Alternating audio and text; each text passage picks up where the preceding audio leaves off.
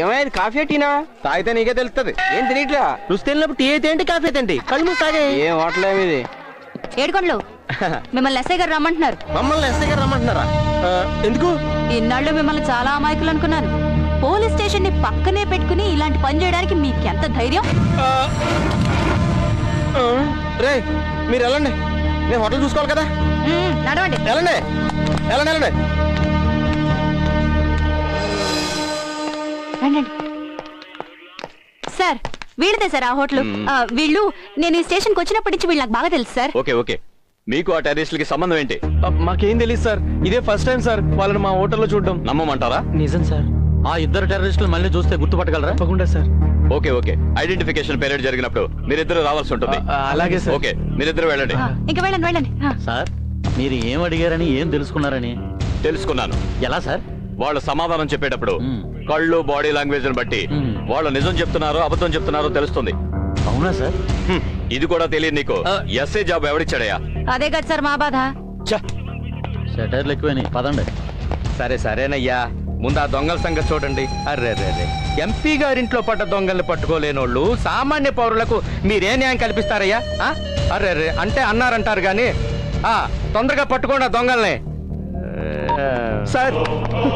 Sir sir. ఏంటయ్యా కంగారు? విత్తనాలు ఏం అయిపోలేదు ఇంకా చాలా ఉన్నాయి. ఎన్ని బస్తాలు కావాలో చెప్పు. ఆ విత్తనాలే సార్ నా కొంప ముంచింది. నన్ను మీరే కాపాడాలి సార్. ఏంట్రా నా ఇంటి బయట ఇచ్చట అందరినీ కాపాడబడును అని బోర్డు ఏమైనా ఉందా? ఊపుకుంటూ వచ్చేసావు? అదేంటి సార్ అలా అంటారు? మీరిచ్చిన విత్తనాలు అమ్మబట్టే కదా నా మీద అరెస్ట్ వారెంట్ ఇష్యూ అయింది. అంతేరా చట్టం తన పని తాను చేసుకుపోతుంది. ఎక్కువ లాభం వస్తుందనేగా? నేను ఇచ్చిన విత్తనాలు అమ్మావు. ఇప్పుడేమో నా కోసం అమ్మినట్టుగా మాట్లాడుతున్నావు. కాకమ్మ కబుర్లు చెప్పకండి. ఆ విత్తనాలు మీ దగ్గర కొన్నవే అని చెప్తే నాతో పాటు మిమ్మల్ని కూడా బొక్కలో వేస్తారు. ఏంట్రా ఈ వాయిస్ రాస్తుంది? నువ్వు నా దగ్గర విత్తనాలు కొన్నట్టుగా బిల్స్ కానీ ఏమైనా సాక్ష్యాలు ఉన్నాయా? లేకపోతే నా మాటలు కాదని నీ మాటలు ఎవరైనా నమ్ముతాడు చెప్పు. అయ్యా అంత మాట అనకండి అయ్యా. నన్ను ఇప్పుడు ఏం చేయమంటారో చెప్పండి. అలాగన్నావు బాగుంది. ఓ పది లక్షలు పట్టరా అమ్మో పది లక్షల? అరెస్ట్ వారెంట్ క్యాన్సిల్ చేయడం అంటే ఆషామాషి విషయం కాదు. ఏదైనా తేడా వస్తే నా తలకు చుట్టుకుంటుంది తెలుసా? సరేనయ్యా. ఉమ్. తెస్తాను. పోయి పట్రా పో. ఉంటానయ్యా. ఏమయ్యా? నమస్తే సార్. వాళ్ళెవరో దొంగతనం చేయడం ఏంటి? ఆ కమిషనర్ మనల్ని తిట్టడం ఏంటి? అయినా గొట్టంగాలు ఏ జూబ్లీ హిల్స్లో బంజారా హిల్స్లో దొంగతనం చేయకుండా అస్తమానం మన ఏరియాలను దొంగతనం చేస్తున్నారు. ఇదంతా మన కర్మయ్యా. ఫిల్మ్ డైర్ అయితే బెటర్ సార్. సినిమా వాళ్ళు ఉంటారు. వేషాలు ఎద్దు గాని వారం లోపు ఆ దొంగల్ని పట్టుకుని కమిషనర్ గారి దగ్గర మీరు బెస్ట్ అనిపించుకోవాలి సార్. ఒక్క నిమిషం. Sir good news sir. Very good news. దొంగ దొరికాడు. ఏ దొంగ? మార్కెట్లో నీ పర్స్ కొట్టేసినాడా? కాదు సార్. ఏడేళ్ళుగా మన డిపార్ట్మెంట్ని ముప్పు తిప్పలు పెడుతున్న ఆ దొంగని పట్టుకున్నాను సార్. కోటాను కోట్ల రూపాయలు కొల్లగొట్టిన ఆ దొంగని రెడ్ హ్యాండెడ్గా విత్ ప్రూఫ్ పట్టుకున్నాను సార్. దొంగ దొరికాడంటే? పదండి. Okay sir.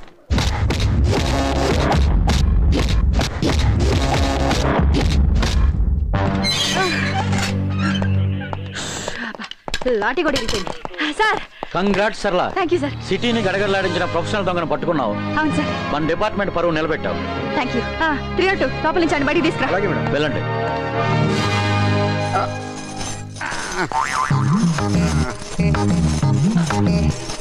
నారాయణ నువ్వా? ఏంటి సరిగ్గా నిలబడలేకపోతున్నావు? ఏం చెప్పమంటారు సార్? నలభై కేజీల మనిషికి అరవై కేజీలు గొలిసేస్తే ఏం నిలబడగలను సార్! సార్ ఈ ప్రొఫెషనల్ దొంగ మీకు ముందే తెలుసా? నువ్వు పట్టుకుంది ప్రొఫెషనల్ దొంగను కాదు. కనీసం పర్సు కూడా కొట్టలేని ఈ నారాయణ్ని సార్ మరీ రెస్పెక్ట్ లేకుండా పిల్ల దొంగలాగా పీకి పారేయకండి సార్. సార్ వీడి మాటలు మీరు నమ్మకండి. వీడి నేను రెడ్ హ్యాండెడ్గా పట్టుకున్నాను. సార్ వట్టిదే సార్. రెడ్ లేదు గ్రీన్ లేదు వట్టి హ్యాండ్స్ తోటి పట్టుకున్నారు. అసలు వీళ్ళకి హ్యాండ్స్ పడమే రా సార్? ఎలా జాబ్స్ ఇచ్చారు సార్ వీళ్ళకి? రే కోపం వచ్చిందంటే లోపలికి తోస్తా. ఈసారి రెండు లాఠీలు ఇరుగుతాయి. సార్ చూడండి సార్. ఇందులో ఎంత క్యాష్ ఉందో ఇదంతా వీడి దగ్గర పట్టుకున్నాను సార్. చూడు నారాయణ సార్. మనలో మనమాట. ఇంత క్యాష్ నీకు ఎక్కడిది? వీళ్ళే అనుకున్నాను. వీళ్ళతో పాటు మీరు కూడా జమ్మా అన్నమాట. ఏయ్! Don't be serious sir. పొద్దున్నే దొంగతనానికి వెళ్తుంటే ఒక షూటింగ్ కనబడింది. అక్కడ మేనేజర్ దగ్గర సూట్ కేసు ఉంది సార్. అది కొట్టేద్దామని ధూములో జాన్ అబ్రహాం లాగా వర్కౌట్ చేశాను సార్. కొట్టేశాను సార్. పాపం మొత్తం డబ్బు కొట్టేస్తే ఏడుస్తాడని నా సొంత పదివేల రూపాయలు ఆడు సూట్ కేసులో పెట్టాడు పక్కన పెట్టి వచ్చేస్తున్నాను సార్. అప్పుడు అర్థమైంది సార్. నేను జాన్ అబ్రహాం కాదు వాడు ధూమ్ టూలో హృతిక్ రోషన్ అని దీనికి అంత టెన్షన్ ఎందుకు నారాయణ? ఆల్రెడీ దాంట్లో క్యాష్ ఉందిగా? సార్ అందుకే మిమ్మల్ని పోలీసులు అన్నారు. ఏయ్! ఆ, అవన్నీ డూప్లికేట్లు సార్? నా పదివేలు బొక్క సార్.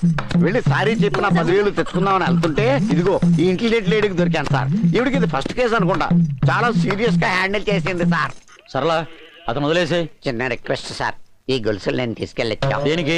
ఎందుకంటే పాతనప సామాన్ వాడికి అమ్మేసి ఒక క్వార్టర్ మంది కూడా దామని సెంట్రీ కనపడకుండా బయటికి వెళ్ళిపో. సార్! మనకు అనవసరం. సార్! నువ్వు ఎమోషన్ తగ్గించు!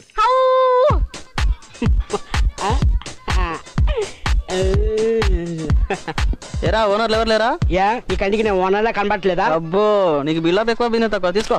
ఇచ్చిన పది రూపాయలు ఓనర్ కావాలంట ఓనర్.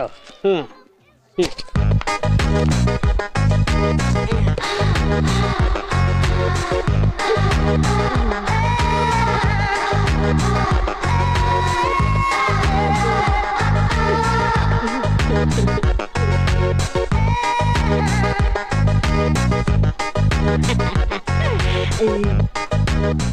పొట్టడా? రమణ ఎక్కడ? స్మార్ట్గా పిల్లొచ్చు కదా. అంత సీన్ లేదులే. రమణ ఎప్పుడు వస్తాడు? ఏమైనా డబ్బులు తీసుకోండి. హలో ఏమైనా డబ్బులు తీసుకోండి. ఏవి లేని అడవిలో ఎలికి పెద్ద జంతువట నేను ఎలకనే వెళ్ళు వెళ్ళు. ఇప్పుడే రావడం. సర్లే రమణ వస్తే నేను వచ్చానని చెప్పు. ఏడుకొండల వాడ వెంకటరమణ నన్ను ఎందుకని ఇలా పుట్టించావు?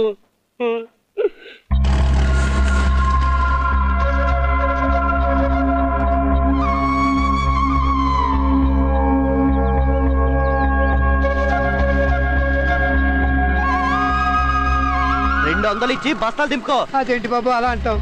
అంత డబ్బు నేను ఎలా ఇవ్వగలను అదంతా నాకు తెలియదు ముందు పైసలు తీ. అంత డబ్బు నా దగ్గర లేదు. నేను ఇవ్వలేను. ఏంటి గొడవ? సమయానికి వచ్చావు. నువ్వన్నా చెప్పు బాబు. ఆయన ఎందుకు చెప్పేది? పరిశ్రమ చేయకుండా పైసలు తీ. అసలు ఏం జరిగింది బాబాయ్? చూడు బాబు మా ఊరు నుంచి రావడానికి ముప్పై రూపాయలు అయింది సికింద్రాబాద్ స్టేషన్ నుంచి ఇక్కడ రావడానికి రెండు వందలు అడుగుతున్నాడు బాబు. మీటర్ అయితే గింత అయింది. అయినా దునియాలో మేము కూడా బతకాలి కదా. దొంగ మీటర్ మ్యాటర్ మాకు తెలుసు కానీ నువ్వు బతకడం కోసం ఇలాంటి వాళ్ళని చంపాలా? అరే ఏం మాట్లాడుతున్నావు? నేను చంపడం ఏంది? మరంతే కదా. ఇలా అందిన కాడికి ప్రతి ఒక్కడు రైతుల దగ్గర దోచుకుంటూ పోతుంటే వాళ్ళ ఆత్మహత్యలు కాక ఇంకేం చేసుకుంటారు? అంటే ఈ పాపంలో నీకు బాగా ఉన్నట్టే కదా? ఈ రైతుల దగ్గర రాజకీయ నాయకులు ఓట్లు అధికారులు నోట్లు అందిన కాడికి అడ్డంగా దోచుకుంటున్నారు. అదే పని నువ్వు చేస్తావా అన్నా? రైతుల్ని మోసం చేస్తే మనకి తిండి కూడా దొరకదన్నా? ఇందులో ఏమున్నాయి బాబాయ్? టమాటాలు ఉన్నాయి బాబు. నీ కిలోకి ఎంత వస్తుంది? ఎంత బాబు ఎనభై పైసల నుంచి రూపాయి దాకా వస్తుంది. మార్కెట్లో నువ్వెంత కొంటావు? పదో పన్నెండో రూపాయలకి. చూసావా? ఆ రైతుకి ఎంత మిగులుతుందో? మీ ఇద్దరి మధ్య ఆ దళాలు ఎంత బాగుపడుతున్నాడు? ఈ రోజు పంట ఎక్కువగా పండినా రైతు బాధపడాల్సిన పరిస్థితి వచ్చింది. రైతు పొలంలో ఉన్నంతసేపే మనం సేఫ్గా ఉండగలం. ఆ రైతే లేనప్పుడు నువ్వు లేవు నేను లేను. నన్ను క్షమించన్నా. నాకు తెలియకుండా చాలా పెద్ద తప్పు చేశాను. అదేం లేదన్నా నాకు తెలిసింది చెప్పానంతే ఇప్పుడు చెప్పు ఎంత ఇమ్మంటావు నీ ఇష్టమన్నా ఎంతో కొంత ఇవ్వన్నా. ఇదిగో బాబు చాలా సాయం చేసావు బాబు. చల్లగుండు బిడ్డ. దాందే ఉంది బాబాయ్. వస్తాను. సరే బిడ్డ. ఏంట్రా? ఈరోజు సర్లో ఒకసారి కూడా కనిపించలేదు. పోలీసు వాళ్ళు కదన్నా ఏదో పని ఉంటుంది. ఏంటోరా? రోజు నా చుట్టూ తిరుగుతూ ఉంటే నాకు అసలు ఏం తెలిసింది కాదు. ఈరోజు కనీసం ఒక్కసారి కూడా కనపడిపోయేసరికి అదోలా ఉందా?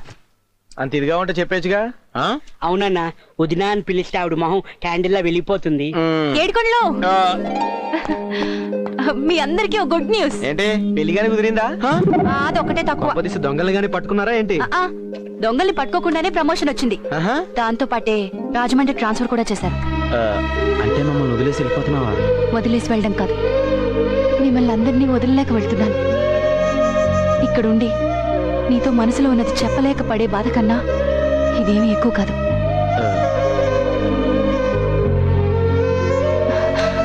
ఇంతకంటే ఎలా చెప్పాలి?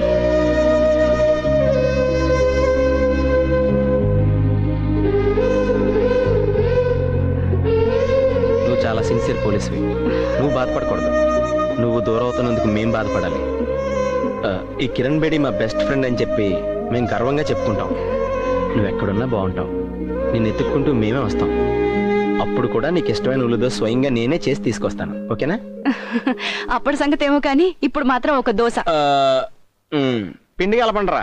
పార్సల్.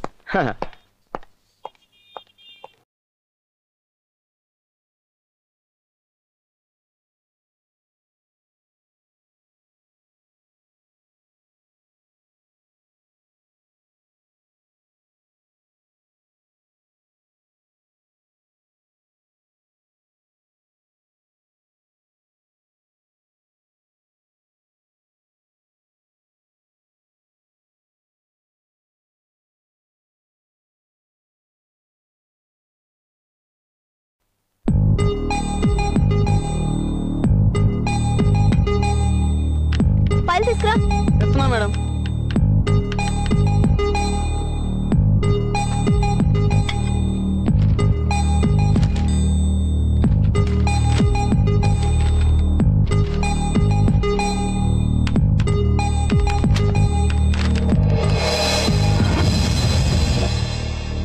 నాకు ఈ పెళ్ళి వద్దా ఆంటీ?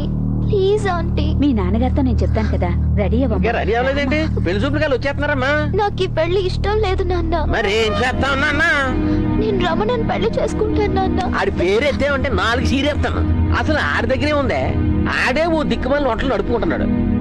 మర్యాదగా నేను తెచ్చిన సంబంధం చేసుకోవి సుఖపడతావమ్మా. లేదంటే కన్న కూతురని కూడా చూడడం చంపేస్తాను. అన్నయ్య గారు నేను ఆ. నచ్చ చెప్తాను కదా. మీరు రండి. ఏంటి అనుకున్నావు నచ్చ చెప్తానని చెప్పాను కదన్నయ్య చూడమ్మా తల్లి లేని నిన్ను పువ్వులో పెట్టి పెంచారు మీ నాన్నగారు. ఏది చేసినా నీ సంతోషం కోసమే చేశారు. ఒక్కసారి ఆ అబ్బాయిని వచ్చి చూడు. ఆ తర్వాత ఏం జరుగుతుందో చూద్దాం. సరే. నాగలక్ష్మి అమ్మాయిని ఎలా తీసుకురా? జాగ్రత్త. ఆ, అక్కడ కూర్చోబెట్టు. మా అమ్మాయి బుజ్జి తల్లి. కూర్చోమ్మా.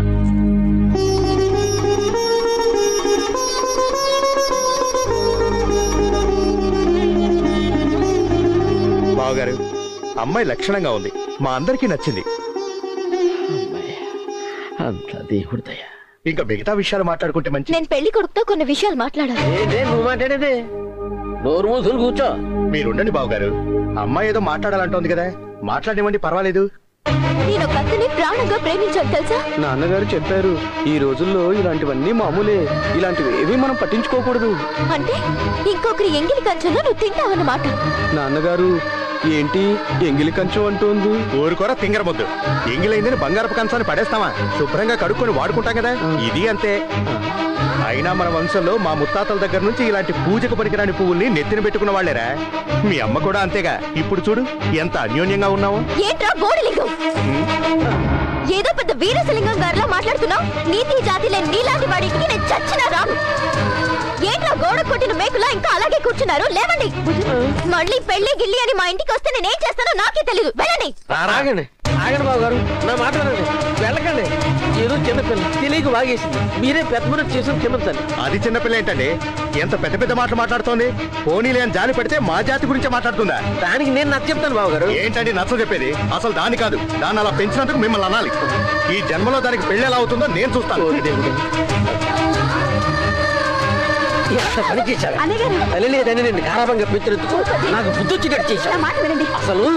నేనంటే కూతురు బతికినా ఒకటే చచ్చినా ఏంటా మాటలు? ముందు మీరు రండి. తనకి నేను నచ్చ చెప్తాను. రండమ్మా.